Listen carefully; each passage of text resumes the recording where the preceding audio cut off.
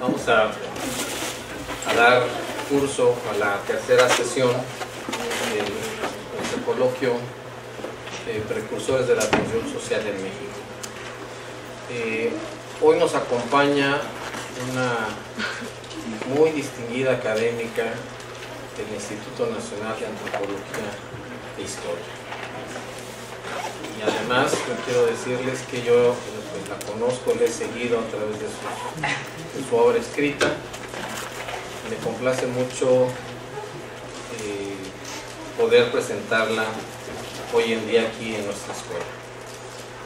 Me parece que es la figura idónea para concluir este coloquio que iniciamos en abril con la participación de la doctora Julia Chávez, en donde hicimos una panorámica de las, de las condiciones en que se encontraba la mujer en finales del siglo XIX, principios del siglo XX. Después yo me permití compartirles con ustedes algunos de los eh, proyectos y de los resultados de los mismos de la obra de Salvador Alvarado en Yucatán y hoy pues cerramos esta, este coloquio con la participación de una experta en la conquista de derechos, principalmente políticos, eh, de las mujeres en nuestro país. Por tanto, me complace muchísimo presentar a ustedes a la doctora Enriqueta Tuñón Pablos, una especialista en temas eh, femeniles y en feminismo, en su feminismo, concretamente en la conquista de los derechos políticos. La doctora Tuñón Pablos es egresada de la Facultad de Filosofía y Letras, donde cursó la licenciatura, la maestría y el doctorado en Historia. Eh, la tesis con la que obtuvo el grado eh, como doctora en Historia, pues es nada menos que el otorgamiento del sufragio femenino en México. ¿Estoy en lo correcto? Es autora de una importante obra entre las que destacan, por ejemplo, el capítulo Tres momentos claves del movimiento sufragista en México, 1917 a 1953, publicado en el libro La Revolución de las Mujeres en México por el Instituto Nacional de Estudios Históricos de las Revoluciones de México en 2014. Asimismo, destaca, voy a mencionar no su obra completa, sino las, eh, las obras que están relacionadas con el tema que hoy habrá de, de compartirnos la doctora. Los movimientos de las mujeres en pro del sufragio en México, 1917-1953, publicado en Sotavento, revista de Historia, Sociedad y Cultura, creo que es de la Universidad de Veracruzana. Y asimismo es autora de los libros Varias Voces, una historia, Mujeres Españolas Exiliadas en México, publicado por el Conaculta en 2011, y un libro coeditado por Plaza y Valdés, Conaculta y el Instituto Nacional de eh, Antropología e Historia en 2002, con un nombre un título verdaderamente muy llamativo. Por fin ya podemos elegir y ser electas, se titula esta obra. Y por último, con relación a los temas que hoy abordaremos, es coautora de un referente obligado para quienes estén interesados en estos temas, el álbum de la mujer, Antología Ilustrada de las Mexicanas, publicado por el Instituto Nacional de Antropología e Historia en 1991. Y sin más preámbulo, me complace presentar a ustedes a la doctora Enriqueta Tuñón Pablos, hoy va a compartir.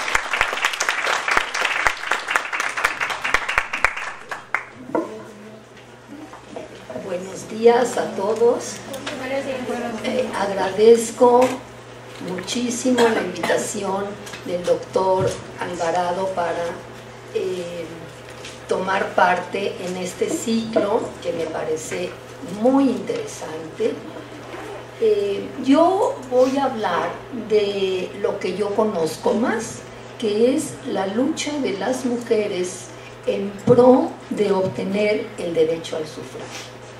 Y en esta lucha de las mujeres, un papel primordial tuvo Salvador Alvarado porque fue de las primeras personas que se ocupó en un momento dado de eh, mejorar o intentar mejorar la situación social, económica y política de las mujeres a principios del siglo XX.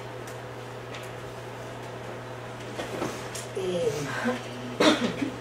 el movimiento feminista mexicano surge a, finales del siglo XIX y principios del XX, cuando un grupo de mujeres comienzan a redactar algunas revistas especialmente dedicadas a mujeres.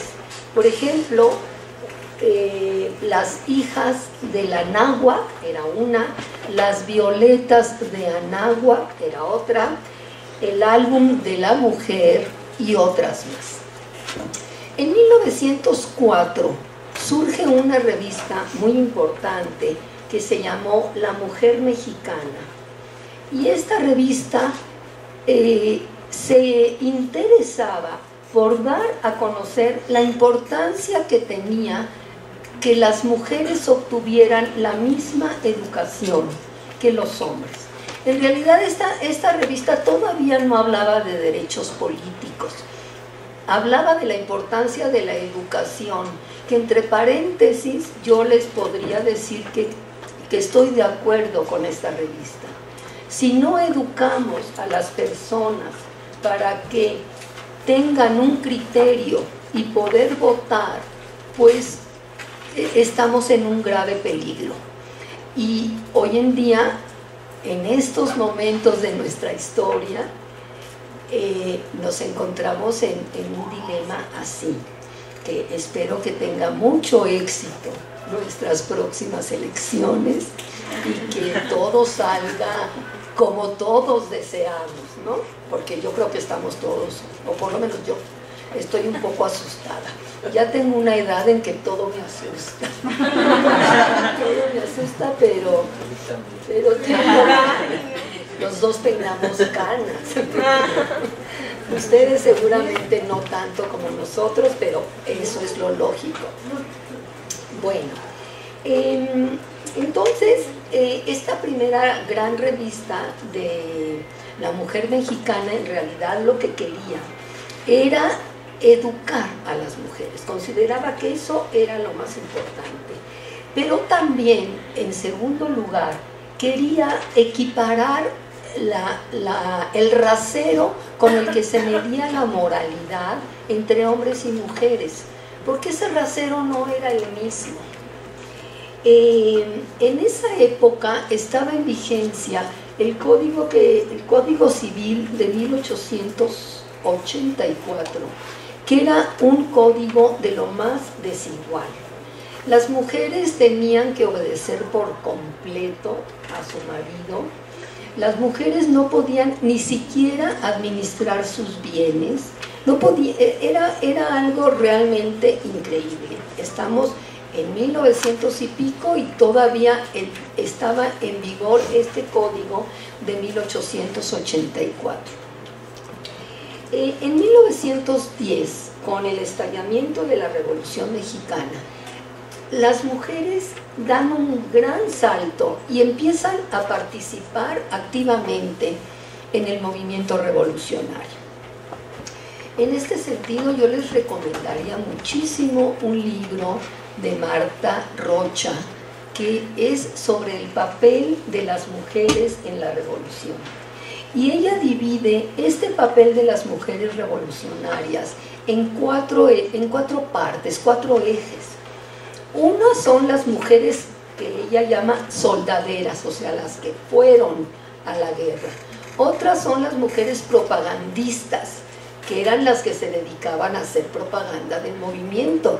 Y hay unas historias realmente emocionantes sobre lo que hacían estas mujeres, que no solamente eran propagandistas, sino también espías. Llevaban papeles secretos debajo de sus enaguas y cosas así realmente interesantes. Otras son las mujeres enfermeras y otras son las feministas. Entonces, este, estos cuatro grupos de mujeres participaron activamente en el movimiento revolucionario. Se dice que las mujeres participaron en el movimiento revolucionario nada más para acompañar a sus parejas, pero en realidad no es así. Las mujeres, tanto como los hombres, tenían la esperanza de que cuando terminara la lucha su situación iba a cambiar, su situación iba a mejorar. Sin embargo, refiriéndome exclusivamente a, a, derechos políticos, nos encontramos con que en 1916, a la hora de de redactar la constitución que iba a regir el país, los legisladores ni siquiera discutieron la posibilidad de otorgar a la mujer los mismos derechos políticos que a los hombres. A la hora de redactar el artículo 34, que hablaba de los derechos electorales, simple y llanamente lo redactaron en masculino son ciudadanos de la República todos aquellos que teniendo más de 18 años si son casados y 21 si no lo son y tienen una forma honesta de vivir, tal, más o menos algo así dice. Eh, son ciudadanos, o sea, ni siquiera, o sea, fue redactado en masculino las mujeres no fueron tomadas en cuenta.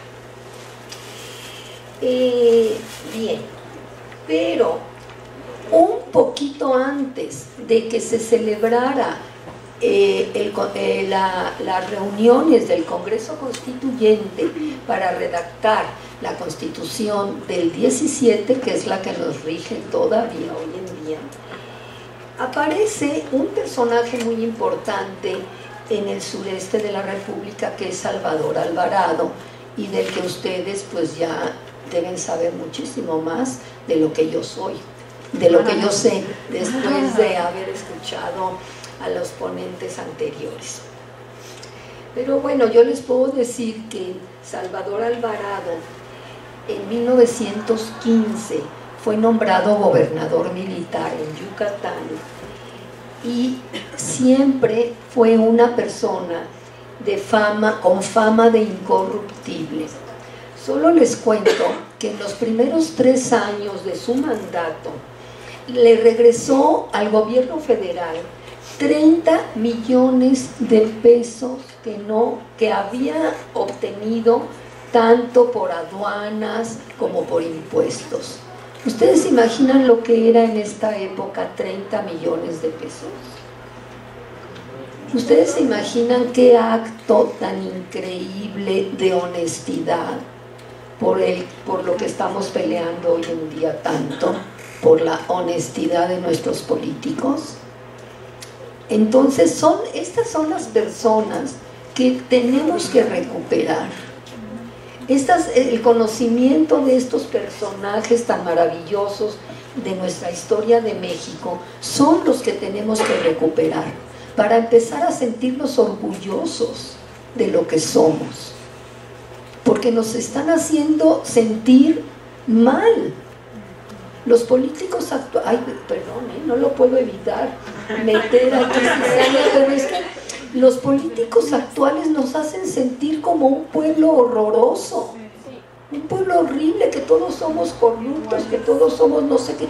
Y, por eso es tan importante eh, eventos como este, en donde se rescate la personalidad de, estos personajes, que hubo muchísimos eh, a lo largo de la historia de México. Muchísimas personas que hay que rescatar y que sería súper interesante hacer un coloquio de todos estos personajes maravillosos ¿no? de la historia de México y que invitaran, que invitaran a especialistas. ¿No? ¿Cómo no? bueno, entonces, em, Salvador Alvarado era una persona que quería pues eh, em, mejorar la situación de los yucatecos pero en especial se interesaba por mejorar la situación de la mujer. Para él era fundamental que ellas pudieran sostenerse a sí mismas, para de esta manera eh, fueran consideradas igual que los hombres, porque en realidad el problema, como repito, era problema de educación más de obtener derechos políticos. Si no tenemos educación, no podemos aprovechar nada de lo que las leyes nos den. Entonces, ella, él, eh, redactó varios decretos para mejorar la situación de las mujeres. Por ejemplo, hubo uno en contra de la explotación de las trabajadoras domésticas. Les puso un salario mínimo, eh, les puso el número de horas máximo que debían de trabajar. Estamos en 1915, hace más de 100 años. ¿Y cómo siguen las trabajadoras domésticas? Explotadas, en nuestro país, totalmente explotadas. Otra cosa que hizo Salvador Alvarado fue animar a las mujeres a que tuvieran otro tipo de trabajo porque las mujeres de la clase media en aquella época trabajaban de costureras, de maestras, de enfermeras, pero él las animaba para que trabajaran en otro tipo de cosa, eh, que trabajaran en oficinas, que fueran secretarias, que fueran contadoras, eh, que, entraran al, mundo, al mundo laboral, que estaba eh, restringido a los hombres. Eh, otra de las cosas importantes que hizo Salvador Alvarado fue promulgar una ley que se llamó la ley feminista y que permitió a través de esta ley, entre otras cosas, que las mujeres en Yucatán pudieran salir de la casa paterna a los 21 años, igual que salían los hombres, ¿no?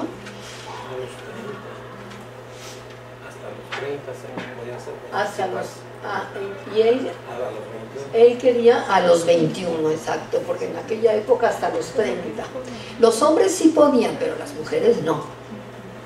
Pues yo pensaría que seguimos casi las mismas.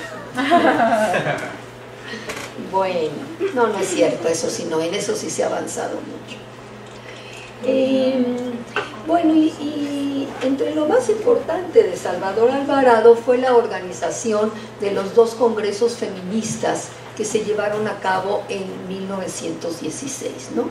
El primero en enero y el segundo en octubre, me parece. Em, esta celebración de estos congresos fue muy importante. Eh, es más conocido el primero, el primero, eh, al primero asistieron 700 mujeres, principalmente profesoras. Él les dio todas las facilidades a las profesoras de Yucatán para que los días que durara el Congreso no fueran a trabajar, se les dieran esos días libres y con pago. Y también eh, eh, subvencionó el transporte de, personas que venían de otro lado. Ustedes saben lo que es juntar 700 mujeres en aquella época participando en el Congreso. Realmente eran muchas mujeres para, para en ese momento. ¿no?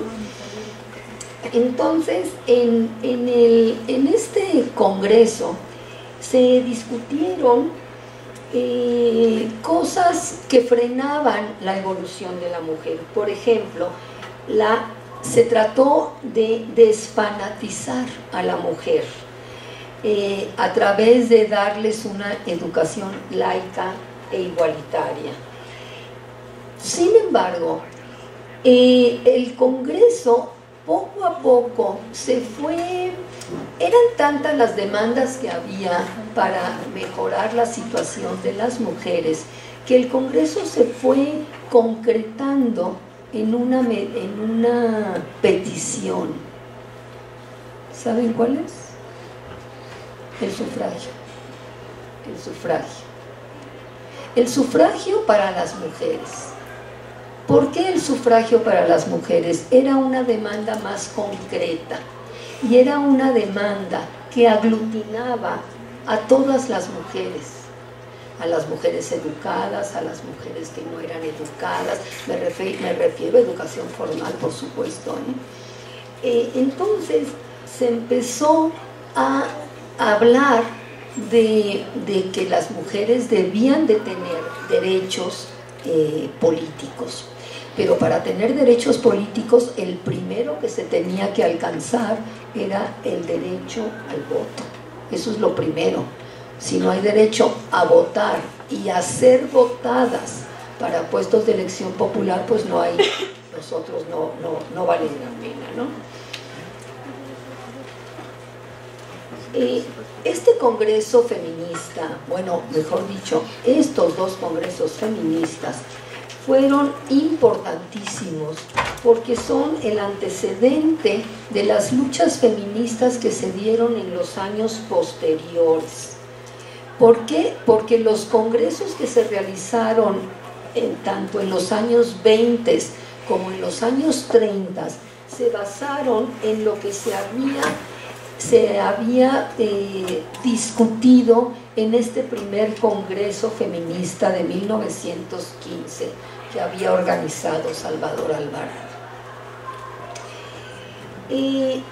En entre 1920 y 1935, en la Ciudad de México se realizaron algunos congresos que hicieron eh, que eh, los grupos femeninos se agruparan alrededor de dos posiciones. Una posición estuvo dirigida por dos maestras comunistas que crearon el Consejo Feminista Mexicano. Estas mujeres fueron Refugio García, conocida más como Cuca García, y Elena Torres. Ellas aglutinaban a los grupos de mujeres que levantaban demandas propias, pero a la vez demandas de clase, es decir, estas mujeres pretendían mejorar la situación del pueblo en general. Había, por otro lado, otro grupo, estamos hablando de los 20 y principios de los 30, que se llamaba Unión de Mujeres Americanas. Y este grupo estaba formado por mujeres que reivindicaban especialmente problemas, problemática de mujeres nada más. Ellas no se metían en ninguna cuestión de tipo social. Con los años surgieron diferencias entre estos dos tipos de grupos, porque en esencia esos dos grupos estaban, estaban eh, peleando ambos por las mujeres, pero de diferente forma. En los años 30 la situación va a cambiar. A mediados de la década llega a la presidencia Lázaro Cárdenas y aquí las organizaciones de mujeres se van a reunir alrededor de un grupo que va a adquirir una enorme importancia y va a ser el Frente Único Pro Derechos de la Mujer. Y este frente se creó en 1934 y logró aglutinar a todo tipo de mujeres, campesinas, profesionistas, maestras, enfermeras, sindicalistas, trabajadoras domésticas, todo, todo tipo de mujeres. ¿Cómo es que logró el frente aglutinar a todo este tipo de mujeres? Gracias a que su demanda se concentró una vez más en el sufragio femenino. El, um, el frente peleó por el derecho al sufragio como se solía pelear en aquella época eh, haciendo manifestaciones, haciendo huelgas de hambre, organizando mítines llegaron a amenazar con quemar el Palacio Nacional, siendo presidente Cárdenas. ¿eh?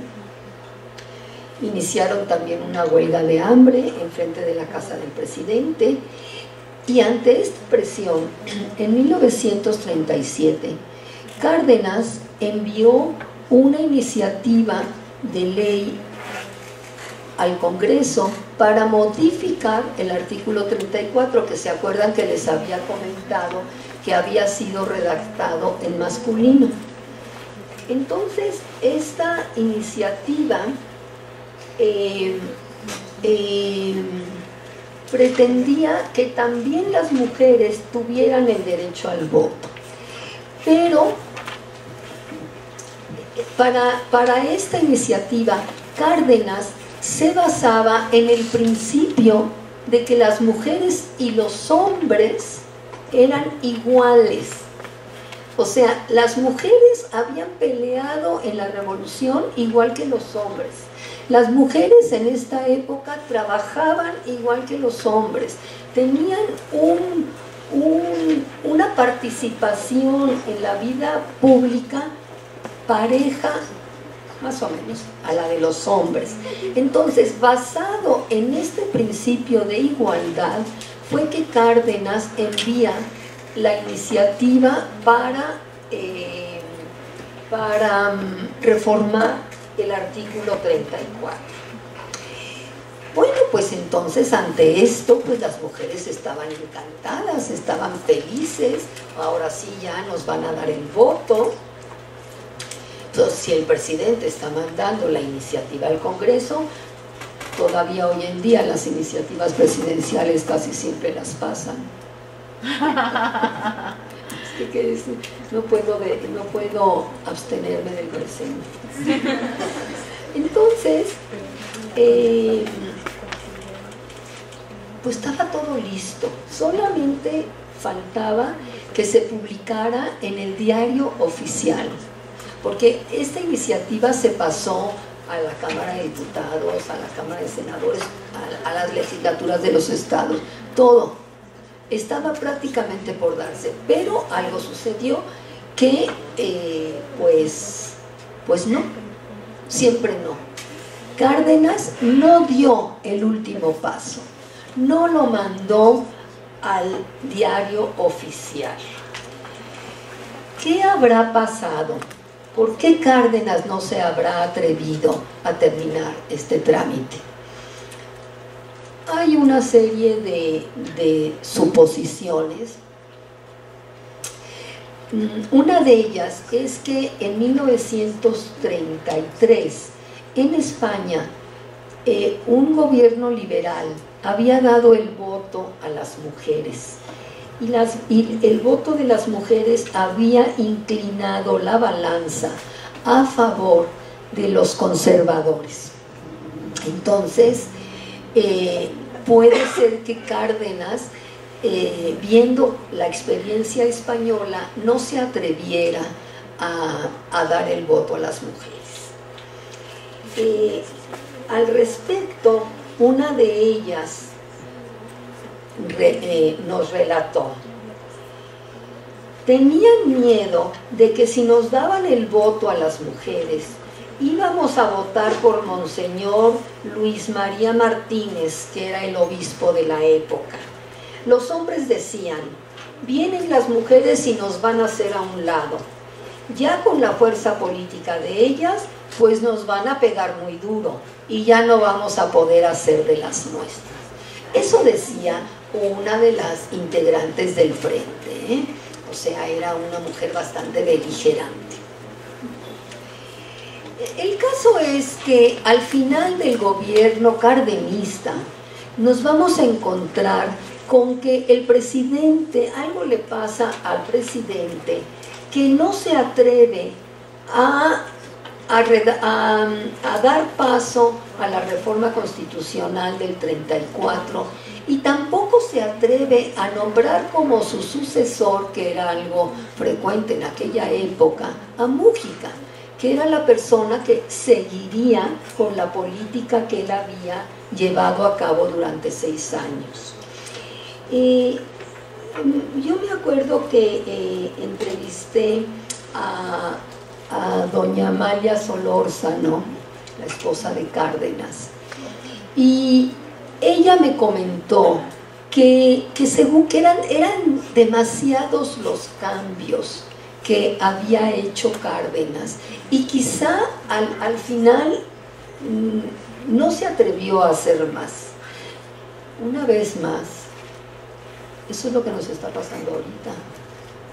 Tenemos al candidato del cambio y tenemos a los que van a continuar con lo mismo.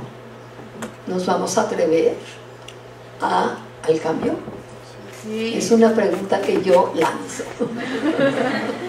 Pero es, es, que es muy importante, es que estamos en un momento, yo siento que estamos en un momento similar. Bueno, guardando las distancias, pero bueno. Eh, de, esta manera, al final del gobierno de Cárdenas, las mujeres en México se quedaron sin el derecho al voto. Y en eso ya llegan los años 40.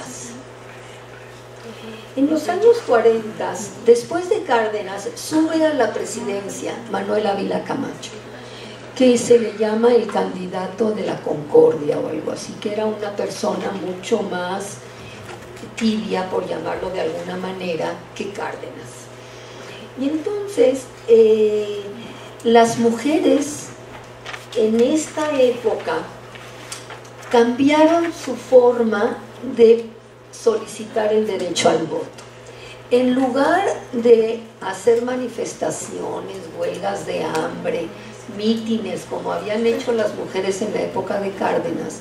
Ahora las mujeres se reunieron, se reunían para solicitar al presidente de la República, Ávila Camacho, que les otorgara, y subrayo, otorgara el derecho al voto. Ya no era una exigencia de las mujeres, era una dádiva que le pedían al presidente de la República.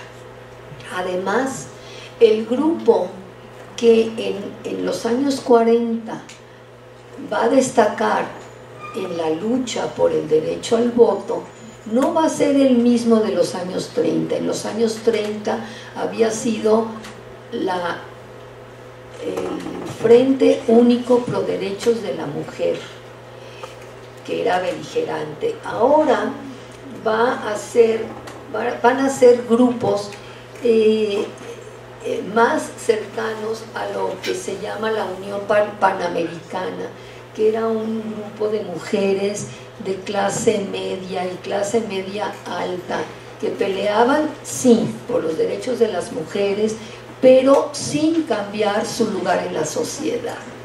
O sea, ellas querían el derecho al voto, pero seguían aceptando que el lugar, de las mujeres en la sociedad era el de madres y esposas. En, esta, en esta época comienza a destacar una mujer que después va a, tener un papel primordial en, en México, en el México de los años 50, que es Amalia Castillo Ledón y de ella vamos a hablar un poco más adelante cuando hablemos de cómo se obtiene el derecho al voto en México. A mediados de 1940 sube a la presidencia Miguel Alemán. Miguel Alemán era una persona que, que quería modernizar nuestro país.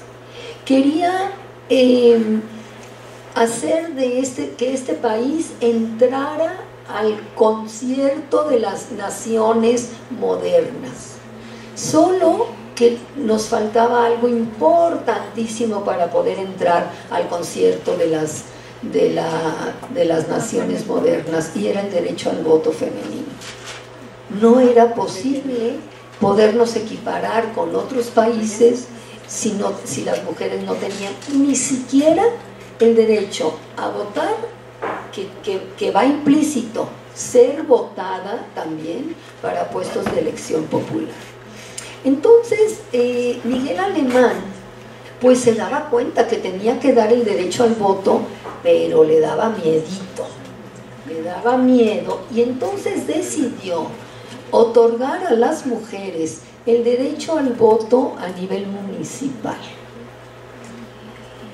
Eh, entonces, a, nivel municipal era como, según él, era como gobernar una casa grande. Y, eh, les pedía cuando les propuso darles el derecho al voto a nivel municipal, reformando el artículo 113 constitucional, les pedía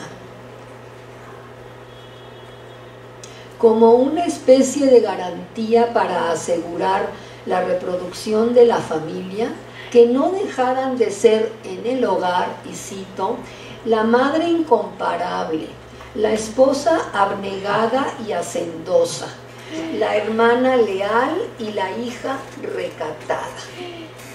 O sea, el papel social de la mujer no se cambiaba, pero sí van a poder votar y ser votadas para puestos de elección popular. Ahorita nos parece una tontería y nos parece muy tibio, pero en realidad fue un primer paso muy importante. Em, las mujeres a partir de este momento comenzaron a tomar parte de una manera más activa en la vida del país.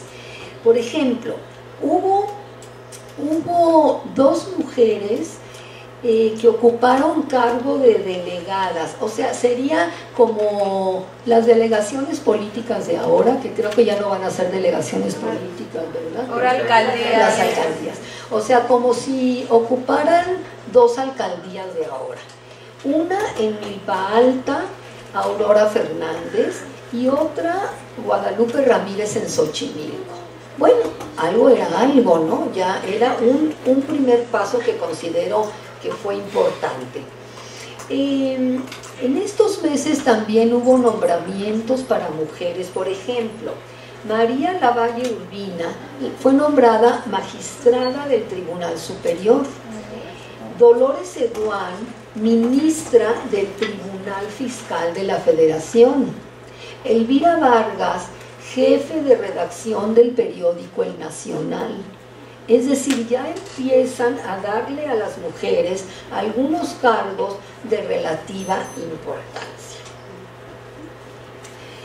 A lo largo del sexenio alemanista nos encontramos con dos posiciones diferentes, respecto, siempre respecto al sufragio femenino. ¿eh?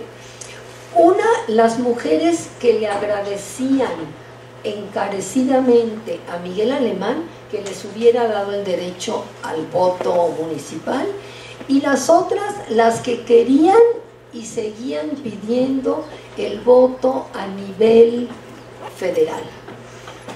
La mujer que más peleó, que fue más persistente en esta lucha, fue una señora, una doctora, que se llamaba Esther Chapa. Y esta señora cada vez que se iniciaba las sesiones de, las cámaras, enviaba una carta a los diputados solicitando que se les otorgara el derecho al voto a nivel federal. Esa carta la hizo durante 22 años. 22 años estuvo realizando esta labor Esther Chapa, persistente como ustedes pueden ver. Al principio esa carta la firmaban muchísimas mujeres. Ya después de 22 años, creo que la última carta la firmó Esther Chapa y Adelina Sendejas. Nada más dos. Porque ya, ya la situación era diferente. Era una época de conservadurismo, era una época que ya estaban desanimadas las mujeres. Y vamos a ver qué pasa en los 50, que es cuando obtenemos por fin el derecho al voto. en 1900, a finales de 1952. a principios de los años 50, las mujeres comenzaron a, a darse cuenta que para poder pedir una vez más el derecho al voto, se tenían que aglutinarse alrededor de un solo grupo, como el de los 30, como el Frente Único Pro Derechos de la Mujer. Entonces, se necesitaba una persona que tuviera un carisma especial para poderlas juntar. Y esa persona era una señora, Amalia Castillo Ledón. Era una señora perteneciente a un nivel socioeconómico alto, era esposa de un historiador famoso de la época eh, y era una mujer eh, muy guapa, una mujer muy elegante, una mujer tal, tal, una mujer que como, como decía su hija, les voy a decir lo que decía su hija. Mi mamá era una mujer tan bella, mi mamá decía, el hombre más fuerte no es el que tiene fuerza física, sino el que tiene todos los atributos de hombría. Y la mujer más fuerte tiene que tener todos los atributos de feminidad. Mi mamá se disparaba de aquel grupo de mujeres feministas porque ella andaba muy guapa, muy arreglada. Cuando ella estuvo en las Naciones Unidas, que fui la primera vez con ella, tenía un, un alterón de papeles que revisar en una noche y entre ellos tenía metidos modelos de vestidos y propaganda de perfumes. Era de una feminidad lindísima. Eso dice su hija. Es decir, ustedes se pueden dar cuenta el tipo de gente que era. Ella tenía cargos a nivel internacional. Ella fue nombrada presidenta de la Comisión Interamericana de Mujeres, que era un organismo que tenía la sede en Washington y que se encargaba de procurar obtener derechos femeninos, pero no a nivel de manifestaciones y de huelgas de hambre y no, a nivel de hablar con los presidentes de los diferentes países de América Latina para que otorgaran a las mujeres los derechos políticos. Era la nueva manera de luchar por la obtención del voto. Entonces, eh, eh, llegamos a 1952, en que el candidato a la presidencia es Adolfo Ruiz Cortines. Eh, en este momento nos encontramos con dos grupos de mujeres. Uno, el que está encabezado por Amalia Castillo Ledón, y el otro, el que está encabezado por Margarita García Flores, que son las mujeres priistas. Margarita García Flores era, era la dirigente de la sección femenil del PRI. El gobierno de, de Ruiz Cortines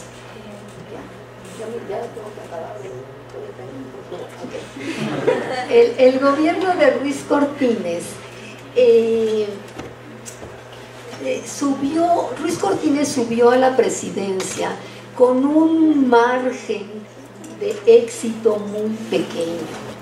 Era un gobierno cuestionado en su legitimidad. Entonces, él eh, para, poder eh, adquirir adeptos, prometió una serie de cosas que no se habían logrado en épocas anteriores, entre ellas el derecho al voto femenino. Entonces, que no, no perdamos de vista que al que le interesaba era al poder Adolfo Ruiz Cortines quería darle el voto a las mujeres. Y, le, y las priistas, encabezadas por Margarita García Flores, pues se prestan a hacer este movimiento. Entonces, eh, según la versión de Margarita García Flores, cuando fue nombrado candidato Luis Cortines, ella le pidió una cita para solicitarle que le otorgara a las mujeres el derecho al voto. Y les voy a leer lo que me contó Margarita García Flores sobre esta entrevista.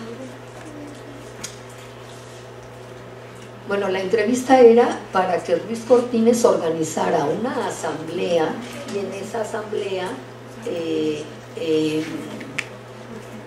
solicitar que les dieran voto. Y dice ella, recuerdo cómo fue que conseguimos que se realizara la asamblea. Eran los primeros días del mes de marzo 1952, ¿eh? cuando lo vimos. Antes de entrar le dije a Lolita Eduardo, que era una amiga de ella, oye tú, ¿y ahora qué le decimos? Y me dice, pues si eres tan mujer, fájatelas en aguas y dile lo que me acabas de decir. Al entrar nos dijo el candidato, a ver, aquí estoy compañeritas, me da mucho gusto poder saludarlas. Eso de compañeritas, como ustedes pueden darse cuenta, es un poco despectivo, ¿no? Como que compañeritas. Pero bueno, eh, me da mucho gusto poder saludarlas. ¿Tenían algo que comunicarme? ¿Algo que hablar conmigo?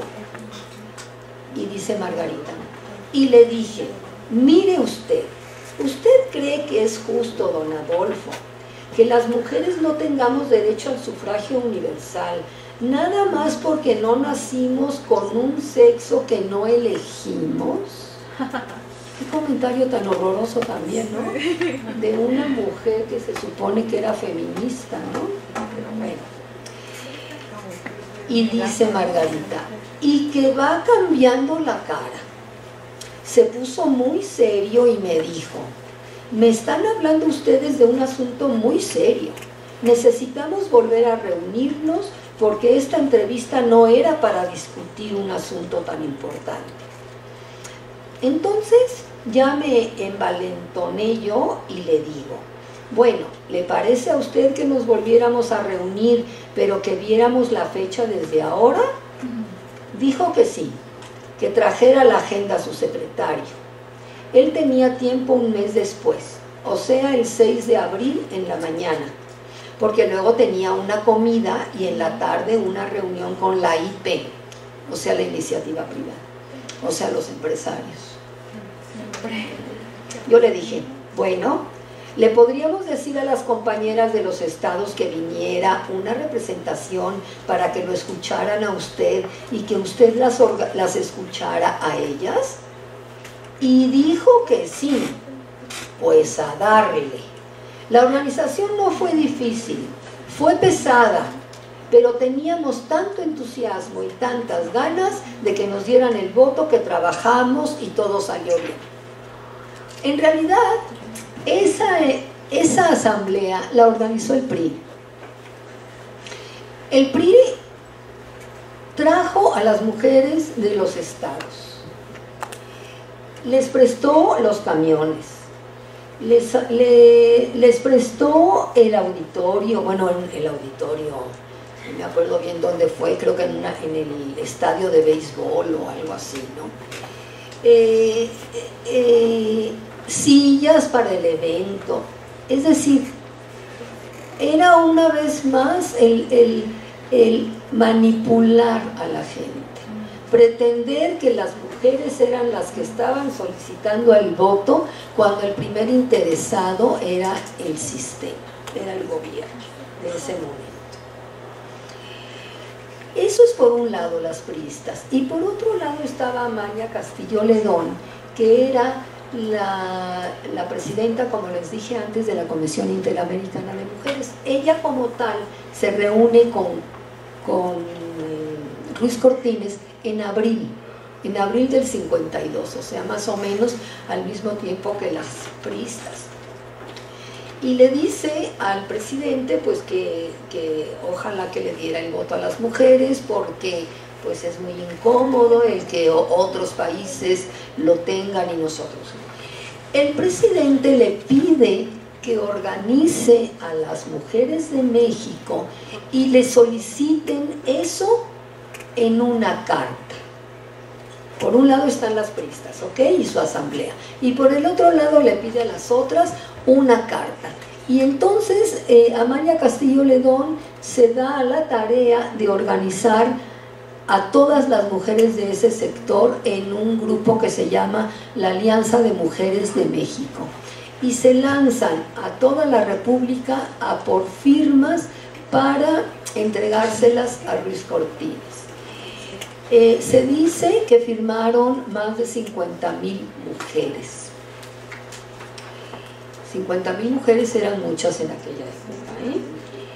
Y de esa manera con estos dos frentes diferentes, pero estos dos a la vez, el primero de diciembre de 1952, Adolfo Ruiz Cortines tomó protesta como presidente de México. Mm, bueno, él dijo que iba a mandar la iniciativa al Congreso para otorgar a las mujeres el derecho al voto. Lo hizo, la iniciativa siguió su curso normal.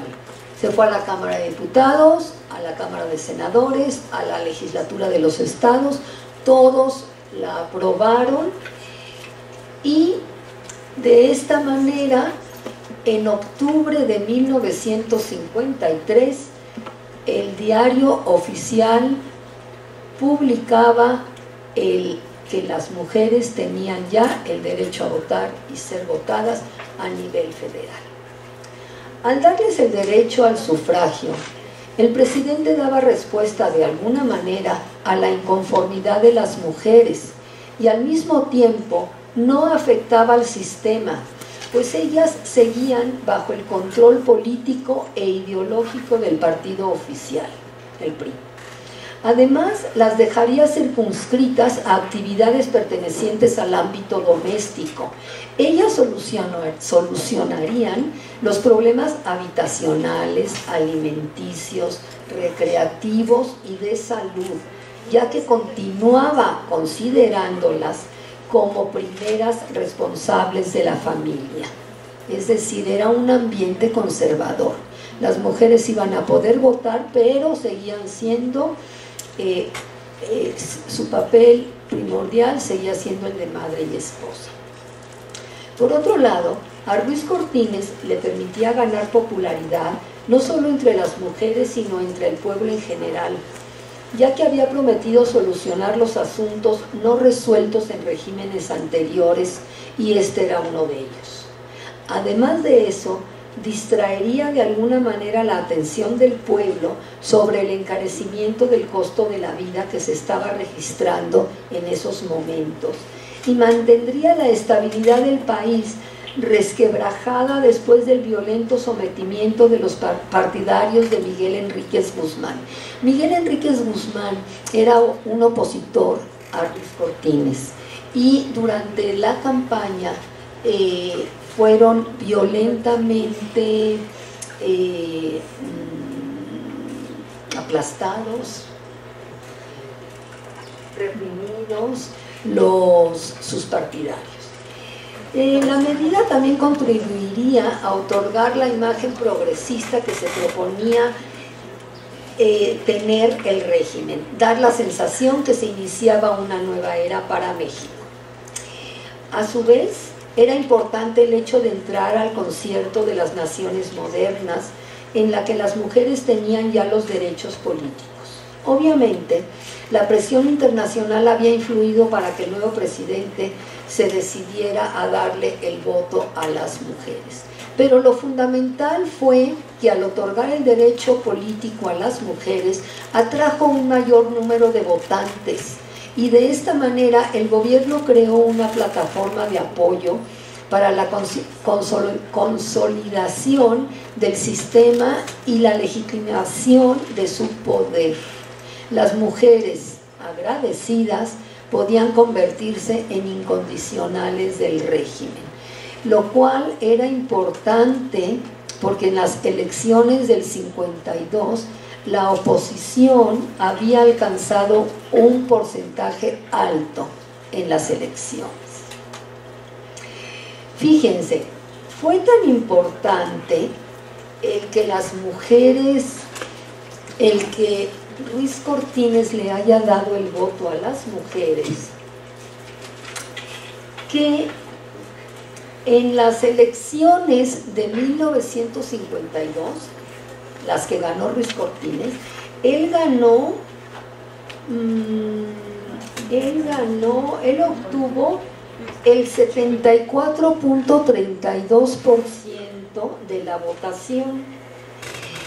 Y en las siguientes elecciones, en 1958, cuando las mujeres votaron por primera vez para presidente, que era Adolfo López Mateos, él obtuvo el triunfo con el 90.56% del total de los votos. Gracias, O sea, seguramente este, este dato me parece que es muy importante y seguramente pesó para que Ruiz Cortines decidiera otorgar el derecho al voto. Con eso termino. Muchas gracias.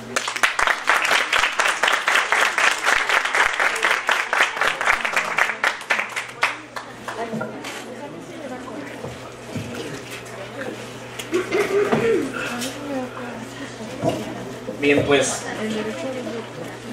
ha sido muy ilustrativo este recorrido que ha eh, compartido con nosotros la doctora Enriqueta Tuñón.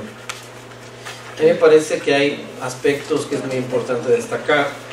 El primero es que pone eh, la reflexión eh, este binomio ciudadanía-educación. Y me parece que es muy importante resaltar que estas revistas que reivindicaban la educación como la condición a partir de la cual se podía tomar conciencia y por tanto participar en la lucha política, pues tiene mucho que ver, convergen mucho con el ideal, el ideario de Salvador Alvarado. Y ahí me parece una reminiscencia muy fuerte de pensadores eh, como Juan Jacobo Rousseau. Ustedes recuerdan el contrato social, el libro primero, Rousseau es muy claro, dice textual, el derecho que tengo a votar me impone el deber de instruirme. Y entonces esto me parece que está en, la cabeza de quienes articulan estas revistas y a partir del cual se le da voz a las mujeres. Y que coincide mucho con este ideal que tenía Salvador Alvarado, recordemos la sesión anterior que resaltaba mucho esta idea de que a través de la educación es cómo podría constituirse la ciudadanía. Eh, destaco también lo, bien que nos plantea nuestra ah, ponente esta relación entre derechos y, el cumplimiento de la ley. Es cierto que es importante eh, fortalecer la cultura de la legalidad, pero también es cierto que en muchas ocasiones no basta el apego al cumplimiento de la ley, sobre todo cuando hay leyes que legitiman la injusticia y la desigualdad legalmente la mujer era desigual al hombre, estaba en una condición de inferioridad en términos de acceso a los derechos. Y eso finalmente es un motivo también para reflexionar sobre la viabilidad de la ley que debe responder justamente a condiciones de justicia y equidad. Eh, y todo esto en el marco de una eh, necesaria esperanza de gozar la plenitud de los derechos de un conglomerado muy importante, cada vez más creciente de mujeres, que choca con los intereses de una clase, de, no, no, solo una clase, sino de un bloque multiclasista que ha triunfado en la Revolución Mexicana. Y paradójicamente los revolucionarios, muchos de ellos que tienen expresión en las ideas que se discuten en el constituyente del 16-17, en con relación a las mujeres pierden todo su carácter revolucionario. Predomina una visión terriblemente conservadora y tradicionalista a partir de la cual lo revolucionario se queda única y exclusivamente en el ámbito de lo masculino y no como un derecho de las mujeres. Ahí es donde me parece también hay un punto de quiebre, de una separación muy importante entre un personaje como Salvador Alvarado, que es una voz aislada en un concierto donde predomina el pensamiento machista masculino, y este hombre alzando la voz ahí aisladamente reivindicando los derechos de las mujeres. Eh, ¿En qué momento perdimos eso? Decía Gloria Villegas, la doctora Villegas, ¿en qué momento este país perdió esos figurones este, que si eso le atribuimos la, la, la, convicción de construir una sociedad igualitaria, y eso le agregamos este, esta virtud eh, que ha señalado también muy bien la, la doctora Tuñón, eh, de la honestidad, pues entonces eh, tenemos un gran déficit de ciudadanía y de responsabilidad de nuestros ciudadanía en términos generales de la sociedad y por otro lado, eh, con relación a nuestros gobernantes, pues tienen un gran déficit en términos de honestidad y de compromiso eh, con esta sociedad. Eh, y justamente este es el objetivo de un coloquio como este, recuperar estas ideas, ponerlas en circulación, discutirlas, porque ustedes, la mayoría de ustedes van a tener su primera experiencia electoral eh, en unos próximos 40 días. Y entonces, justamente la idea es que como ciudadanos se tenga una mayor cantidad de elementos de juicio como para poder emitir un voto, un voto lo más razonado posible. Eh, sin educación no se aprovecha el derecho, nos ha dicho eh, la doctora Tuñón, y a mí me parece que es uno de los elementos sustanciales en eh, su participación. Destaco como último punto de lo que nos ha compartido la doctora Tuñón es este tránsito de lo que es la organización de una sociedad que exige, que busca la conquista de los derechos, a después cómo se va generando un proceso de desmovilización y manipulación a partir del cual lo que era una exigencia se convierte en una, eh, una dádiva del poder, una concesión del poder, a partir de la cual se crean toda una serie de subordinaciones y de alianzas eh, que se traducen en una multiplicación del voto, justamente del voto femenino. Eh, si eso agregamos que López Mateos no solo era un personaje, un gran orador, sino que era además un hombre guapo, que gozaba de una gran admiración por parte de las mujeres, y además era un hombre intrépido, se le perdía a los guardaespaldas y manejaba su Maserati eh, solito, entonces era todo una especie de presidente galán, este, se le perdía también a los guardaespaldas porque tenía moríos eh, nocturnos y, también matutinos, un personaje muy, muy interesante. ¿no? Este, lo que sí me parece eh, importante señalar es que justamente si no se tiene eh, conciencia, si no se tiene eh, la, debida formación e información, se puede incurrir justamente en ser presa fácil de la manipulación. Eh, y se pierde justamente esta idea de que los derechos se conquistan y los derechos se ejercen de una manera consciente y sobre todo responsable. Por tanto, yo les sugiero que abramos un espacio para escucharlos a ustedes, para que le hagan algunas preguntas o consideraciones a la doctora eh, Enriqueta Tuñón. Aprovechemos que es una experta en este tema. Entonces, bueno, pues tienen ustedes la palabra. Pues a través de las tres sesiones de coloquio me permito decir me voy con un extraordinario sabor de boca ¿Por qué? Porque muchos, muchas como nosotras, aquí mayoría mujeres en esta escuela, siempre vemos el pesimismo, esa cara, como bien usted lo dice, de que todo en este gobierno, a través de nuestro gobierno, a través de nuestra historia, ha sido horrores, cosa que no es así. ¿Por qué? Porque aquí vamos a ver cómo las mujeres a través de la historia van conquistando eso por lo que luchan porque si bien nos enfrentamos a una serie de avances y retrocesos, como bien lo vimos, también los hombres reconocen ese empoderamiento que pueden tener las mujeres, esa fuerza y que, como bien lo dice Lázaro Cárdenas decía, hombres y mujeres son iguales porque las mujeres lucharon de la misma forma que los hombres durante la revolución.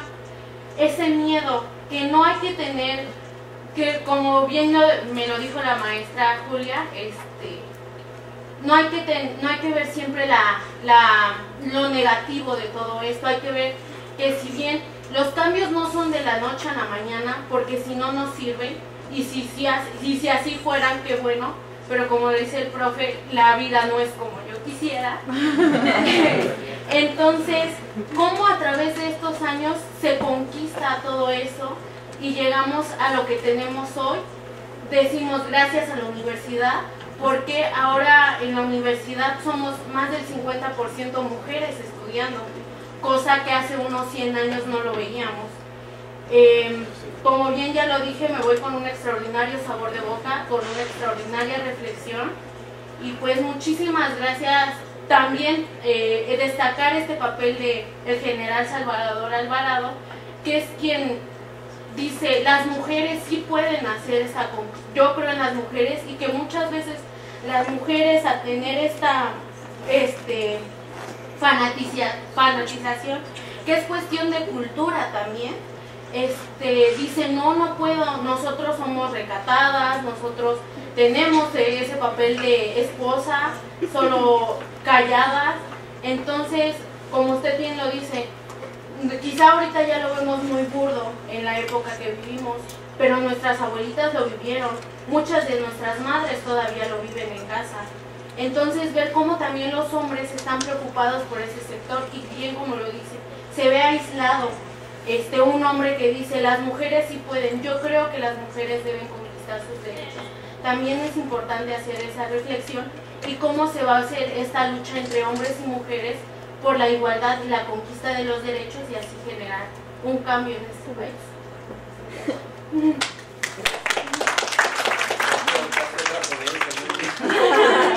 ¿Alguien más? Cecilia. Bueno, yo eh, también como dice Rebeca, ¿no? estoy agradecida por las tres sesiones que tuvimos, son muy interesantes. Eh, yo digo gracias al doctor eh, Salvador Alvarado, al general, muchas gracias. Pienso que ojalá que hubiera más hombres que ocupan un puesto público con ganas de reivindicar a las mujeres, que no solo nos utilicen, ¿no? Este, gracias a las mujeres valientes, aguerridas, persistentes, que en su momento me imagino que han de haber sido muy criticadas. Y yo les doy las gracias que lucharon por que yo ahora puedo gozar del voto. Y pues gracias también a la educación. Yo soy madre de familia y estoy aquí y digo, no está peleada una cosa con la otra, pero gracias a la educación que ahora estoy recibiendo, veo la vida de diferente manera. Ahora sé que tengo un compromiso, tengo una responsabilidad. Eh, eh, ahora veo las cosas como lo, bien lo decía usted, doctora, la educación te va a abrir la mente, te va a abrir, te va a enseñar a que tienes que luchar por cosas, por tus derechos. Esa parte me gustó mucho y pues muchas gracias a las mujeres que lucharon para que yo hoy goce todo lo que estoy gozando.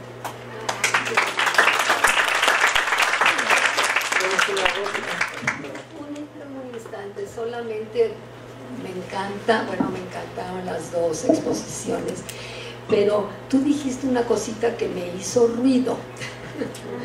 y dice, eh, no pedir a los hombres que nos reivindiquen o sea, no hay que pedirle a los hombres que reivindiquen nuestra situación. Somos nosotras las que tenemos que exigir que esa situación cambie.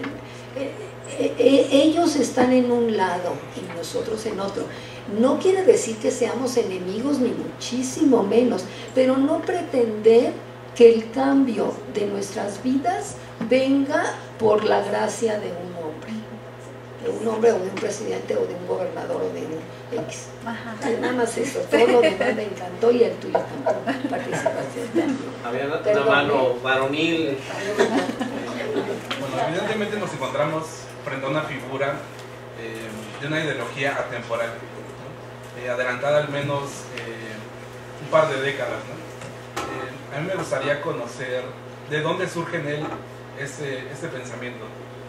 ¿Cuál fue su, su instrucción, su educación? No sé si fue institucional, eh, tutorial, autodidacta, y su entorno familiar también, porque yo no lo visualizo en un entorno familiar de, de aquella época.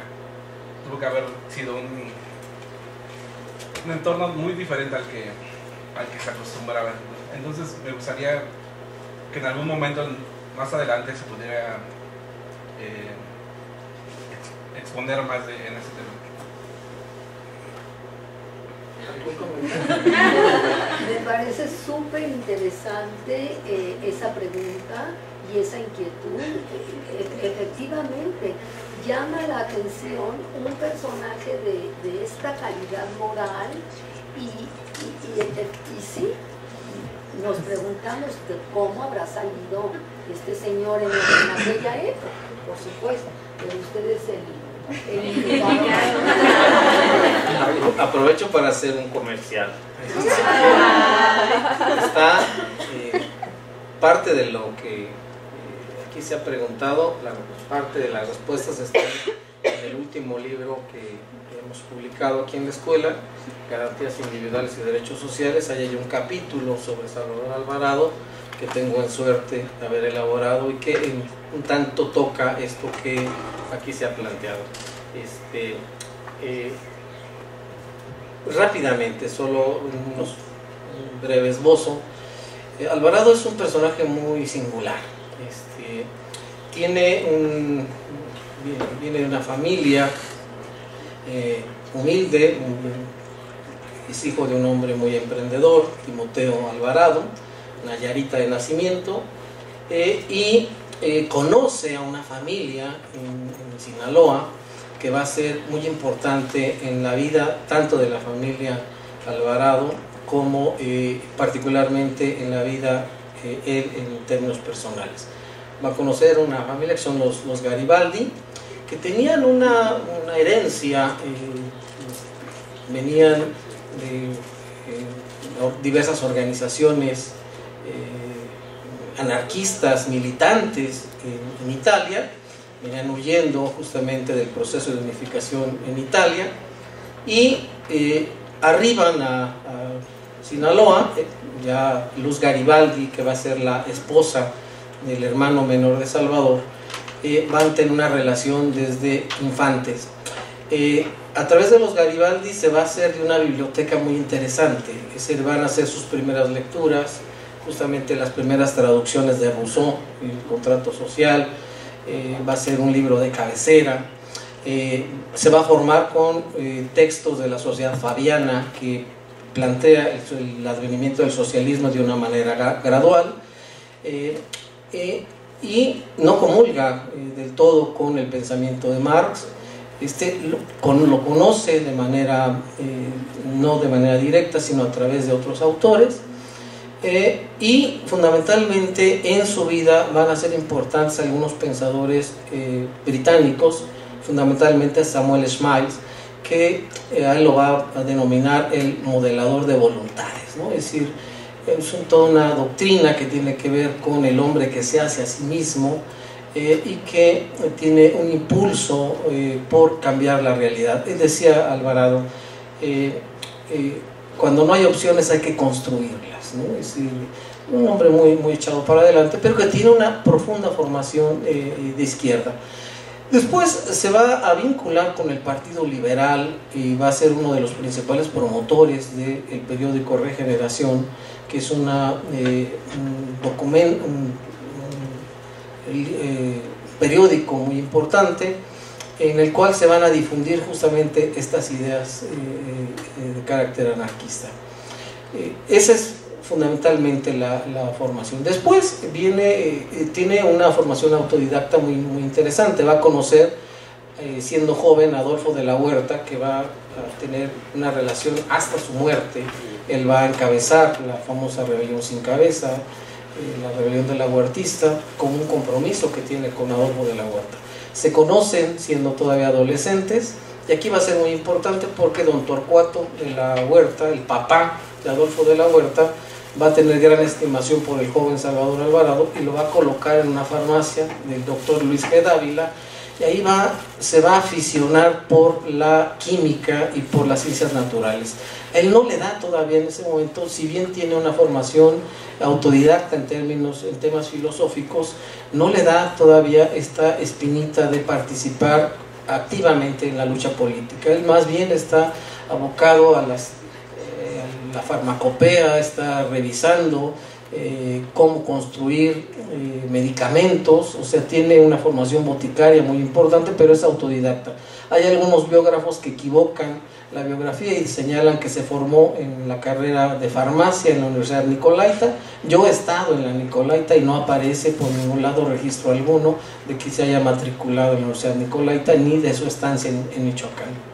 Es fundamentalmente autodidacta, pero después viene ya una parte muy fuerte, un proceso de radicalización, cuando se instalan en Cananea y tiene contactos con eh, personajes como Manuel M. Diegues, que van a ser los que van a organizar las huelgas mineras en Cananea.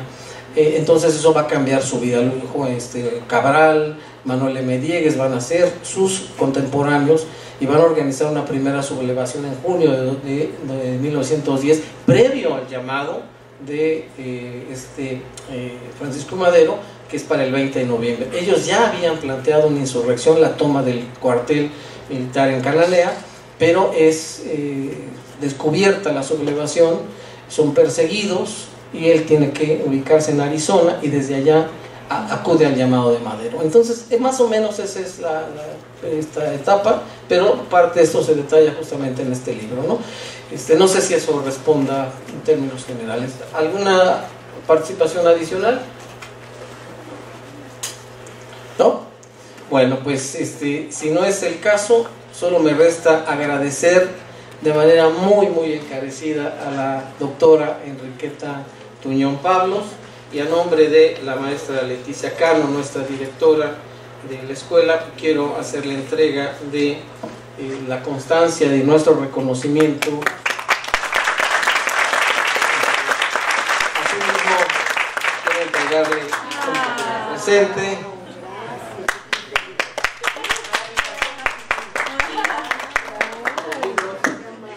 Y un morralito para que se vea.